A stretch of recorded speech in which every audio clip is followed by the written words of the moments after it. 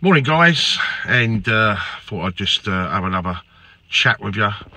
And uh, what I want to talk about is uh, a VAR. Now, I've done several pieces on Chelsea SW6 Facebook group, quite long pieces actually, and uh, several videos, not just on my own channel, but on other people's channels too. And I got a bit of criticism, I've got to tell you, because of my dislike for VAR and as a supporter that's been going home and away uh, since 1981, been going to football since 1975, I feel that um, I, am not saying I've got the right to, to, to, to have a, an, an, opinion about something, but I just feel, to be fair, that um, this will be the death of football. And I really, really do mean that. And I, I guess it's like anything in life. It just seems that anything that's good it has to be changed or um, it, it, the, the, enjoyment. And it always seems to be games that were you know always um, attended by the working classes. It, that's, that's how it seems to me. Football was always a working class game. That was its its roots. And uh, you, you got to say now that a football crowd is definitely changed. I'm not saying that's not for the better. I'm not saying it isn't and i'm not saying it is I am a traditionalist. I like the old style football stadiums. I like the opportunity to be able to stand on the terraces.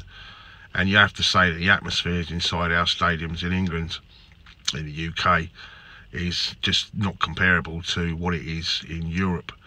I think the German model's the best, um, uh, you know, the, the, the best uh, example how you can have the best of both worlds, where you could, you know, you've got a, you know, a uh, a crowd that's um, full of all sorts of people, but the game's affordable for the youngsters to be able to go through the turnstile, and of course with the terracing and everything else, you've got that sort of communal thing where people bunch together and they create their own atmosphere. But I want to talk about VAR, and um, I just think that everything about it is just awful. It's awful. I think the game of football is spontaneous. You know, it's it moves at 100 miles an hour. And what you're going to do is you're going to take away the magic, the magic of what football is. You know, it's the people's game, but it's magical for a lot of reasons because it happens instantly. Instantly, you know.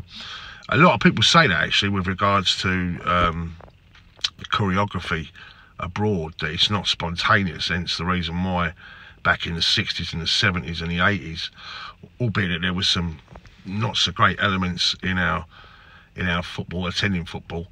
Um, the atmospheres were better because everything was done on a spontaneous level. It still is to a certain degree in England, just not done enough.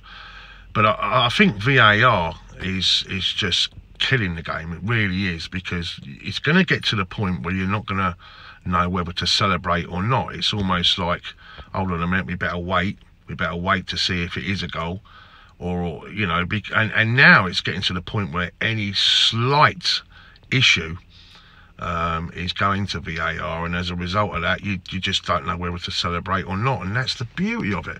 The beauty of you know a goal goes in you know and, and the atmosphere goes up and and everyone celebrates together. It doesn't matter who who sat next to you. All of a sudden like you're hugging and you're going mental together because you both love, you have this passion for your football club.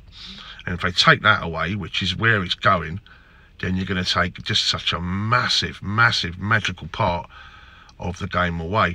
And the difference between us in this country and what it seems to be in Europe is we have VR, whereas they have VAR, they have an assistant referee, um, where uh, there's a uh, video uh, monitor um, you know, uh, at the side of the pitch where a referee can see for himself, so he can overrule the uh, the um, the assistant's um, decision or assistant's um, uh, acknowledgement that something's gone wrong, so that the referee has to have another look at it again.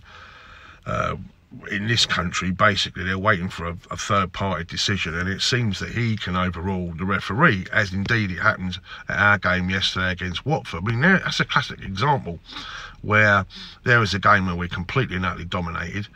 Uh, we're 2 0 up. The goalkeeper's absolutely made worldy after worldy save. We could have been four or five. you know, fair play. And then they get this contentious decision. It doesn't just give them a, a lift. It's almost like a double lift because the crowd are up because now they got a penalty and now they've got a chance to get themselves back in the game. But the, the, the, the play stopped for such a long period of time where you're almost stopping the emphasis. It's a bit like um, it's a bit like you know when you go for a run and then you're, you're, getting yourself into a rhythm and then all of a sudden you stop yeah to get going again it's it's it's twice as hard you know and um, i just think you're giving the, the it's too much you know and the decisions are so uh, minor you know. I mean the whole point of var is it's about goals you know and goals create the atmosphere you know that it's that's the excitement of the of the game. And uh, you know to, to stop it for that length of time just it, it, football as i say is a game where i see it works in cricket and i think it's brilliant in cricket but cricket is a game where it it, there's there's natural pauses inside that game, whereas in football there never there never is a natural pause. In fact, you know, if anyone goes down for a length of time, or if the goalkeeper's taking too much time, then uh, you know the crowd gets uh, really agitated because we're used to the game being fast moving, you know. I just don't like it. I really don't like it for lots and lots and lots of reasons. And I think as the season goes on, it's going to become really controversial, especially with lots and lots of money at stake. You know, with the difference between going up or not, or getting relegated or not, or getting into those top four positions. And let's have it right here. You know, this is what it's all about anyway, money. But I honestly think that the thing with VAR is if, um, I mean, I understand, you know, that you want to get things right, uh, but to actually contend, you know, every single decision, I just think it's absolutely awful. Absolutely awful. That situation in the Aston Villa Liverpool game, you know, listen, I've got no love for Liverpool, but the guy was offside by what? A, a, a slight, maybe not even an arm, you know, sort of maybe a finger. And if we're going to get to that point, um, then what is the point of it? I really, I really, I really don't, I really don't get it. I mean, I, I, I've always been told that if it's not broke, don't fix it. And why would you want to ruin something that's worked perfectly well for hundreds and hundreds of years? And you know, I just, I just don't like VAR. I just think it should go get rid of it. I think it's anti-football, and uh, and we're gonna, you know, sort of uh, just ruin uh, what is uh, for me the perfect sporting game. Uh, you know, I just, as I say, for me, just get rid, just chop it now before it, you know, goes too far. Maybe there should be maybe one or two appeals, you know, like during the, court, you know, we only allowed that like in cricket. Look, I understand technology has got to play a part. Look, the ball going over the line, I get that. That works brilliantly in, in, in tennis. Um, the tram lines, you know, if the ball's in the line or out the line. And I get that with regards to the goal line technology. We've always needed that. That, you know, with, there's been so many bad so and we're still debating 1966, aren't we, in Geoff Hurst? But I can think of many, many situations. Frank Lampard for England against Germany was like miles over. And that would have made the difference and got England back into the game. I get all that. Like, technology there, I'm not, you know, sort of saying no technology in the game. But I just think this is ridiculous, you know. You're taking away, it's a game played by human beings. And this is the point.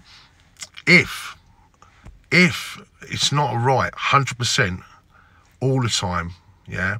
Like every decision is absolutely right, then it fails in what it's trying to achieve. So if that's the case, then it's no good. It's got to go. If it's not perfect all the time, then what's the point of it? Anyway, let me know what you think down below, guys, about VAR. As I say, for me, I want it gone. I, I absolutely hate it.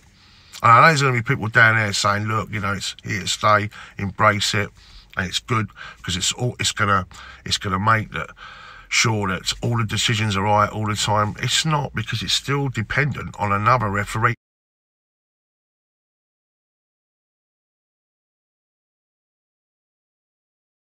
As you can see, I've had to chop this video into two parts because someone decided to ring me in, in the middle of the last one. But uh, I don't like VAR. I've uh, listen. I've made no uh, secret of the fact that I think it's got to go. It's um, it just it, for me it's just um, it's just control. It's just control, you know. Like everything seems to be all about fucking control these days, and now they're trying to control our football in the realms of making it absolutely perfect. And it's not perfect, you know, and that's the beauty of anything involving human beings. Uh, you know, uh, I think if you're going to embrace this, then how far is it going to go? How far is it going to go? Are we going to have AI involved in football in the future? Perhaps robot referees? So it seems like a bit of a laugh and a joke, but can you rule it out? Let us know what you think down below, guys. And for me, fuck VAR. Just get rid.